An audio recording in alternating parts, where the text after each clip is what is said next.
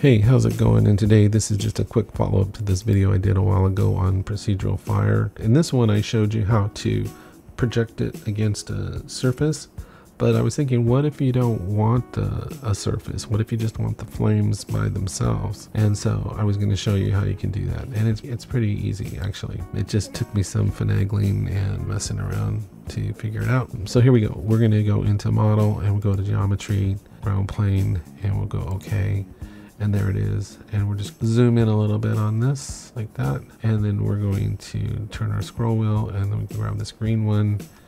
And we are just going to type in negative 90 here.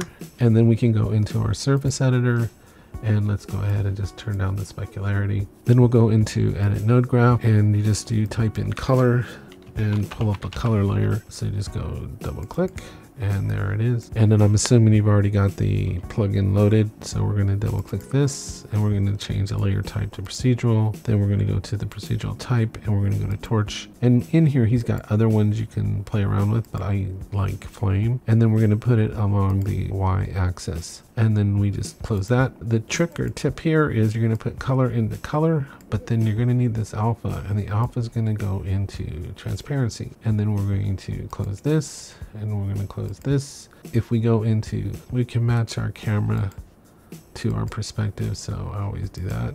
And then we can go into VPR and there's our flame but you notice we've got this background now that's in the way. So the way to get rid of this ground plane is simply go into backdrop and turn it off.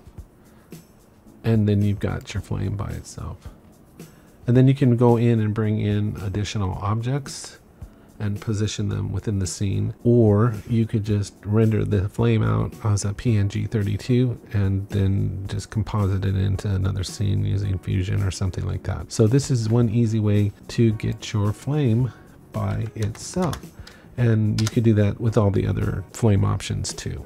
So that's all I had for today. This is just a quick tip for getting the flame by itself. And by itself, of course, there's a lot more functionality. Uh, it has a lot more utility. You can use it for a lot more things. So anyway, if you know of another way to do it, please feel free to share it as always. And so take care, have a great day, and I'll talk to you next time.